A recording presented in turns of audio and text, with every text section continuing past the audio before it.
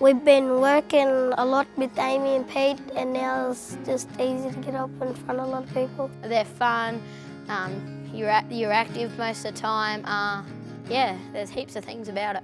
Big value, I suppose, is the fact that it's um, giving our kids experience with arts and drama and dance, you know, sort of aspects um, that they wouldn't normally get due to, you know, lack of access to specialist arts teachers. Even when they're not performing or they're not involved in the project directly, they're still more enthusiastic and confident in everyday school life. Um, well, I had a chat to Peter and Amy yesterday, and they were saying that the kids here were really genuinely focused, and I think that that will transfer over into the classroom.